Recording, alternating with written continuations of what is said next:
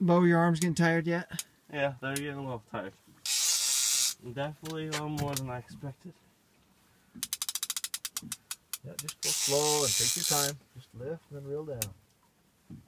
I don't want to surprise him and have him not know what's going on.